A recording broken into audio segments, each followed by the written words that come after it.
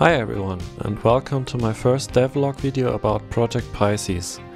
Project Pisces is part of my new devlog series about the new real-time strategy game I'm currently working on. It will stand out from all other RTS games because it will have customization at the core of its gameplay. You'll be able to change your selection of units and some of their attributes before the match starts. Furthermore, the game will have workshop integration for balancing patches.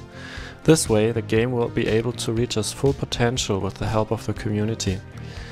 The game will be rooted in the classics while providing many quality of life improvements. Ever since I played Command & Conquer Tiberium Wars 3 as a child, I wanted to create my own RTS game. And during the last couple of years I finally started working on making my dream a reality, thanks to some great books. My change of attitude came at a point when I was still training for a laboratory job. Every day after work I learned programming in my free time, if I still had the energy. After another year of my training I quit. I was now dedicated to working on a virtual reality project. Half a year later I had to change my plans to get a job as a web developer. After six months of learning I got exactly the job I was working towards.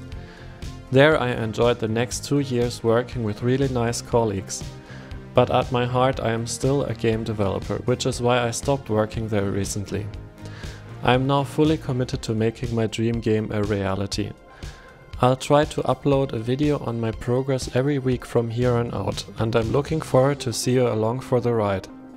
Please subscribe and hit the bell icon to stay notified when I create a new video. Have a great day and see you on my next video on Project Pisces.